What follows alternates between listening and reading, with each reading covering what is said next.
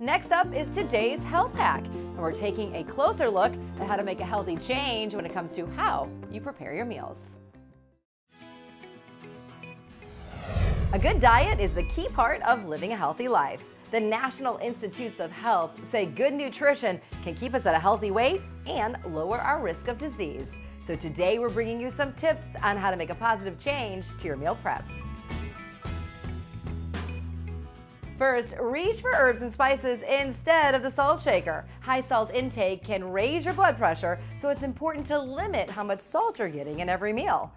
Herbs and spices are a healthier way to flavor your food. Next, take a second look at your cooking method. Try baking, grilling, or steaming instead of frying. These methods can help reduce your fat consumption. That way, you can get your meal in a healthier way. And finally, ditch the store-bought sauces and make your own. That way, you'll know how much sugar and salt you're eating. With these three tips, you'll be eating healthy in no time. For more health hacks, head to our website, livinghealthytv.com.